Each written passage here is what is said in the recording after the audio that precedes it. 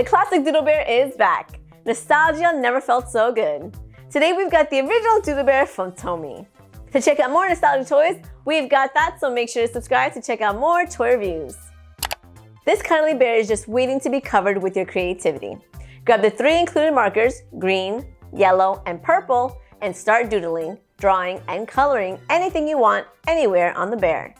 Then, once you're ready to start the fun all over again, just throw it in a pillowcase and toss it in the wash, and all the doodles disappear. It's beautifully designed with sparkly blue eyes. Embroidered features a big pink heart on her belly and a cute pink skirt. The Doodle Bear Fashion Bear is sure to doodle its way right into your little one's creative heart. This is great for kids 3 and up or even toy collectors. Do you remember this toy from back in the day? Let me know in the comments below. My pros, it encourages creativity, it's full of self-expression, and you could watch the Doodle Bear over and over again to create more designs. As for cons, there are none. I give the Doodle Bear 4 out of 5 stars. Now thanks so much for watching. Don't forget to subscribe and check us out on TikTok at The Toy Authority.